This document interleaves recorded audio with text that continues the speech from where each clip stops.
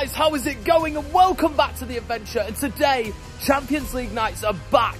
And it's City versus Dortmund at the Etihad. It's the return of the Champions League nights at the Etihad with City taking on Borussia Dortmund under the lights in East Manchester tonight. Erling Haaland is playing against his former employers Borussia Dortmund in the blue of Manchester City and I cannot wait to see this. Haaland scored 62 goals in just 67 games for Borussia Dortmund and we snapped him up in this summer and what an incredible signing it's been. He's already scored 10 goals in 6 games for us.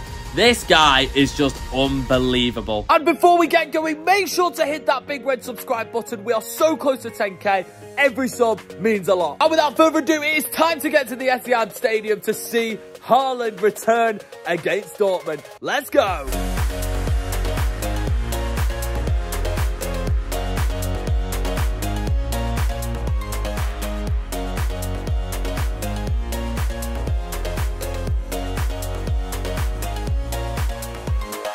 Okay, so we've made it into the Etihad for today's game. City versus Dortmund. Very, very excited for this one. I've never actually seen Dortmund playing. I was telling Yaz on the way, they're playing black and yellow. Would you like? Would you like the colour scheme on that? I've never seen Dortmund play. We played them four times. We've won two, which were the two uh, games that we played two years ago, and drew one, which was here. The first time we played and won all, and then lost at the Signal Iduna Park. So very excited to see Bellingham, to see Reus for the first ever time in person.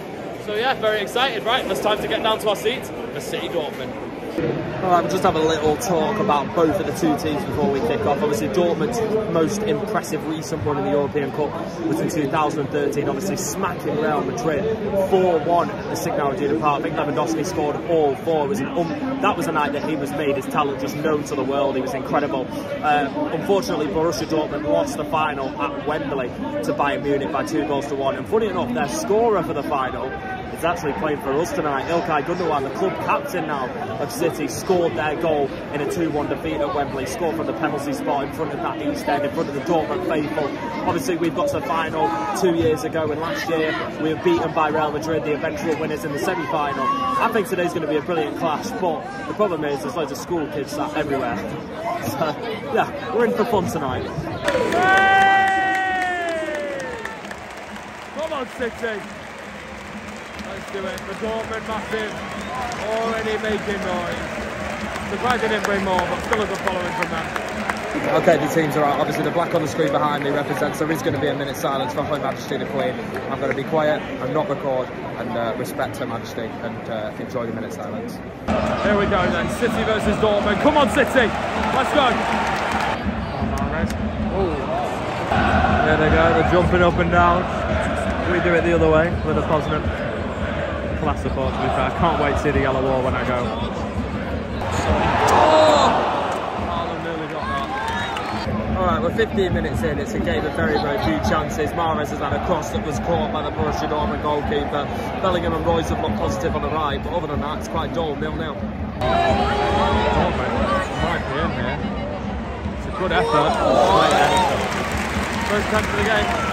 Of Wolfsburg, a rival of Dortmund's, because the Dortmund fans really don't like Kevin, do they? They really don't like him. Sally's made a mistake. Oh, there was three of them there. And Rodri managed to get it. That's a chance for Dortmund, that. Well, that was one of the very few chances that Dortmund had. Meunier broke from Cancelo missing the ball. He pulled it back. There was four of them there. Couldn't get it to any of them. Another shot block from Grealish. Done about four of those. Okay, so half time at the Etihad Stadium. It's been a really, really dull half, hasn't it? Nothing really going on. Dortmund had the best chance of the game, a curling effort that was comfortably caught from Ederson. Uh, but other than that, nothing really much to shout about. I don't think we've even had the shot on target. Haaland's been quiet, De Bruyne has been getting booed. Pretty dead game. Let's move into the second half. Oh. Come on, that's better. To keep it going. Chances for Dortmund. Oh, brilliant from Reus. Oh, and he's missed it. How the hell has he missed that?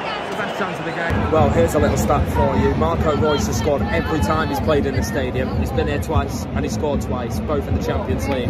Both finesses from a brilliant through ball put through, and he probably should have added a third. How's that gone wide? Dortmund has scored. Well, kid just ruined my shot, but Jude Bellingham 10 minute in, a ball that came flying back in, and they deserved it, Dortmund. Well, my shot got ruined and my night's getting ruined. Jude Bellingham headed it in. It was a ball that came fizzed back in. I'm not sure who it was by. I think it was by Rayner. Come flying back in at 100 miles an hour. Bellingham just knocked it towards goal with his head. And it goes. And he had a goal wrongfully disallowed in the last game. He's got his revenge today. And we, we don't deserve to be winning. And they, they, they have been dangerous. But I was saying to you as a minute ago, I was like, Haaland for this team, they play the way that Haaland likes. Balls going through the top, balls coming into the box. That's why he probably scored loads and loads of goals, and they've got one tonight. We haven't looked at it, and Dortmund have capitalised. Well, finally, some changes have happened as well. We look so poor up top.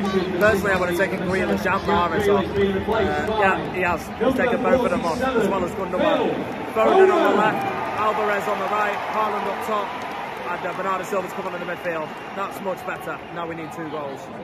What is it with Champions League nights and people just absolutely going mad on the seg line? So at least this time the police have covered the full of the seg line and are not standing at the top like the Spurs ones. But it's getting a bit heated over there. And the other side's having a bit of fun as well. These police have got it under control. There's a lot of stuff being thrown over though from both sets of fans. I mean, can't comment on this one. At least there's police there this time. Well, Dortmund really frustrating us at the moment, playing deep, playing on the break. They've got seven men behind the ball at all points with Reus, Bellingham and Rayner offering outlets going forward with Modeste making runs in behind. They're playing really well. Haaland's just come closest for us, hitting the base of the post, but probably should have squared it to Foden, but he's always going to have eyes for goal there. Nil one to Dortmund. I was going to say nil nil, but Dortmund has scored. And uh, yeah, disappointing so far, but hopefully the subs can start making an impact. Yes!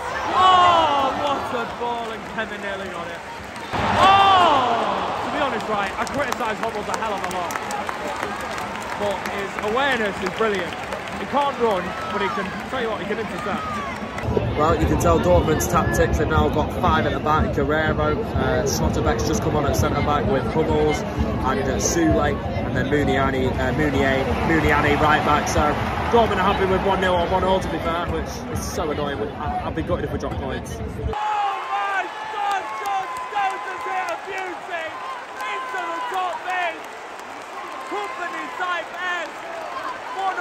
minutes to go. I wish I got that goal, but what a strike it was. Oh my god, what a strike. Usually those go flying into Rose head. Not this time, flying into the top corner. 1 all, back in it. What a ball! He's done it! He's done it! Come on! He's done it again! He's our number nine, boys! That's what he does. He's been so quiet. Oh, that boy's great though. 80 minutes, 1 0 Dortmund. 84 minutes, 2 1 City. Unbelievable. And that's what Haaland does. He's in the right place at the right time. How's he got his leg up? He's like a ballet dancer. Unbelievable. Icelandic clap behind me as well. 2 1. Come on, finish it! No, it took too long. Still might be on. Surely. Oh. Too selfless, aren't we? Let's take a shot. Hey!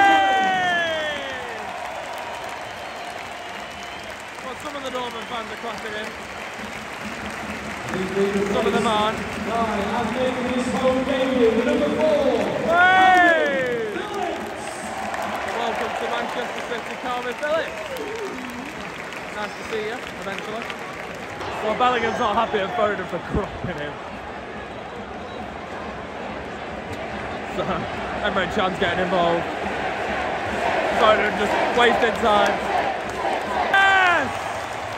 Massive win. Massive, massive win now.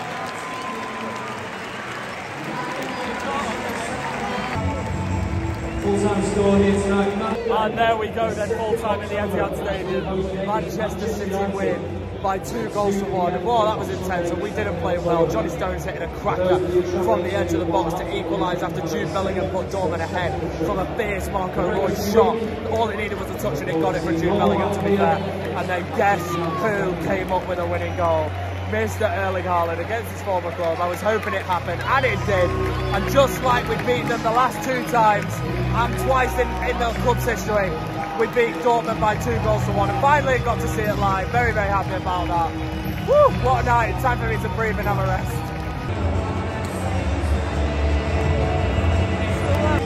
My God.